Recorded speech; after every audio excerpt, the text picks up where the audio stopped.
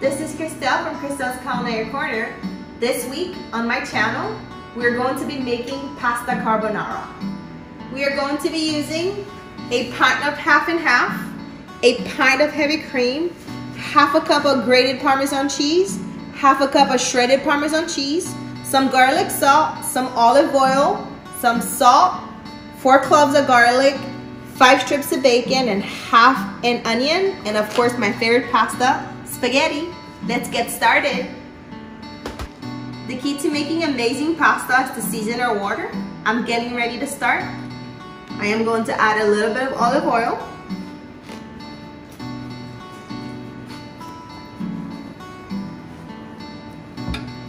Some salt.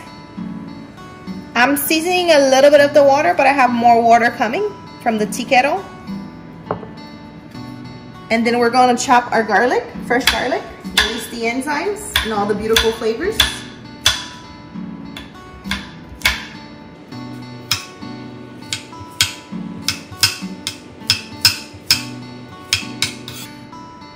All right, here goes our garlic. I'm reaching for the tea kettle. I already had some water boiling.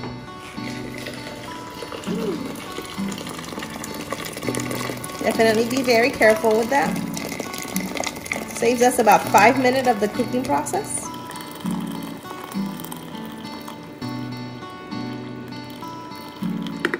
All right. Want to stir my water a little bit. We're gonna wait for it to come to full boil before we add in the pasta. Now that the water has fully boiled, I'm gonna go ahead and put the whole pack of pasta in there. I am going to boil it for about six minutes because I absolutely want to get my pasta al dente. I'll see you guys on the other side. While the pasta is boiling, I'm getting ready to cut the ingredients. I'm going to chop some garlic.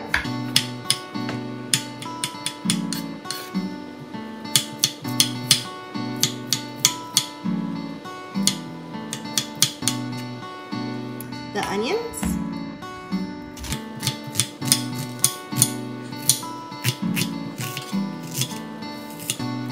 Okay. I'm just gonna transfer that over to the other plate so I can cut the bacon. The garlic on the side.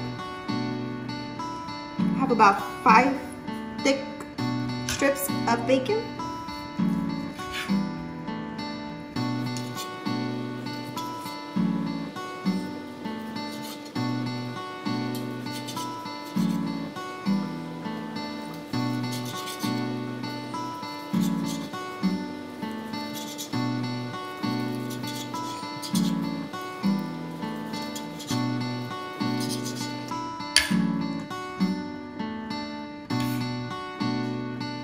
Started on the carbonara sauce, I am going to add just a dash of olive oil. Since the bacon has a lot of fat, I'm getting ready to add the bits of bacon. I'm going to let that cook for a while since the bacon is thick.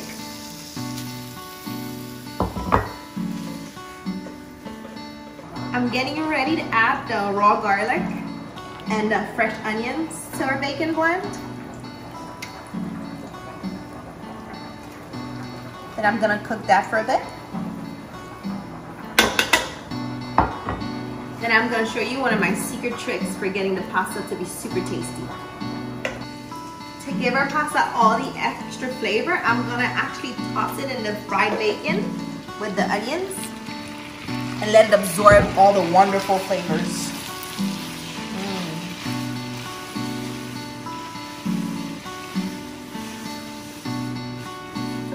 Gonna let that cook for a minute or two. Final steps, I'm just going to be adding the pint of half and half.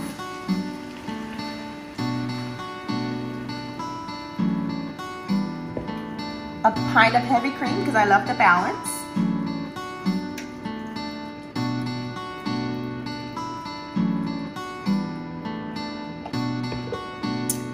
Half a cup of shredded Parmesan cheese. And a half a cup of grated Parmesan cheese. and I'm gonna let it all come to a boil. Thank you so much for watching. Please don't forget to hit the red button below to subscribe for healthy tips and tricks to stay inspired for the week. See you guys next week. Thank you.